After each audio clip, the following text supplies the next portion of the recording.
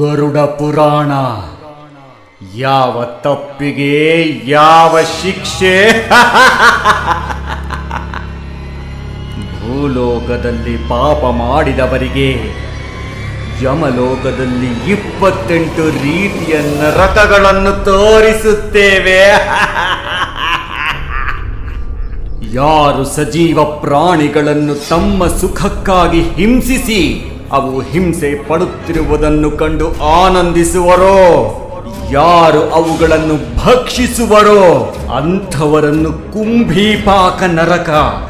ಅಂದರೆ ಕೊತ ಕೊತ ಕುದಿಯುವ ಎಣ್ಣೆಯಲ್ಲಿ ಮುಳುಗಿಸಿ ಮುಳುಗಿಸಿ ಮುಳುಗಿಸಿ ಹಿಂಸಿಸುತ್ತೇವೆ. ಅವರ ಮೈಯೆಲ್ಲ ಬೊಬ್ಬೆಗಳು ಬಂದು, ಆ ಬೊಬ್ಬೆಗಳು ಒಡೆದು ನೀರು ಸೋರುತ್ತಿದ್ದರು. ಅವರು, ಅಯ್ಯೋ, ನಮ್ಮನ್ನು ಬಿಟ್ಟು ಬಿಡಿ. ಅಯ್ಯೋ, ನಮ್ಮನ್ನು ಬಿಟ್ಟು ಬಿಡಿ. ನಮ್ಮನ್ನು ಬಿಟ್ಟು ಬಿಡಿ.